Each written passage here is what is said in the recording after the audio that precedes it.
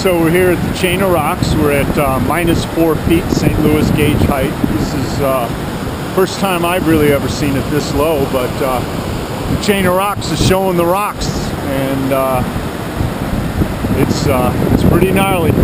I don't see any places to really run this today, but uh, it's still pushing 65,000 cubic feet per second of water over this thing. So there's a force of water. It's quite remarkable. It's great sound. Ice on the uh, driftwood. I don't think I've ever seen driftwood lodged in the chain. I've seen refrigerators or something like that, but never logs.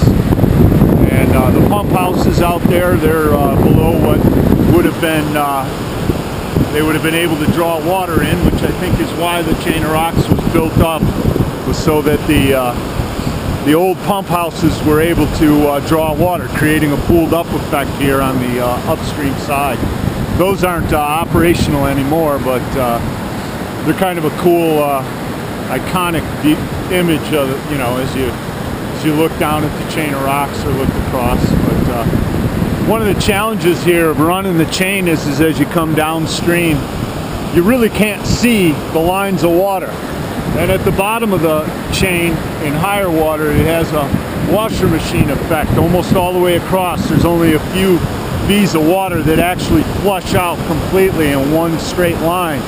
And today I I only see like a couple of them that are actually flushing out, but as you can see, they're just enormous uh, standing waves and wave trains that are dropping over. It's about uh, I don't know, 10, 15 foot drop here from top level all the way down to the bottom where the uh, river flows on downstream.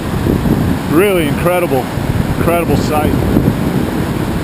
So uh, anyway, for the foreseeable future, I'd say the chain of rocks is closed to running. I don't know about you, but I certainly don't think I'm testing it. Uh, I think there's a way to, to uh, get through it without a portage, and that would be to go all the way uh, ferry across the river all the way to the uh, Missouri bank and then to drop down one of the one of the small lines of water there. I don't think it's as bouldered and all that, but uh, there's no way to really tell. And I, I was up here the other day and and uh, even if we were to go all the way over to the bank, we'd have to get out and pull the boat. It's just all rock bed and sh limestone shelf, shale all the way along there, and it's it's just a pretty, pretty tough place to cross.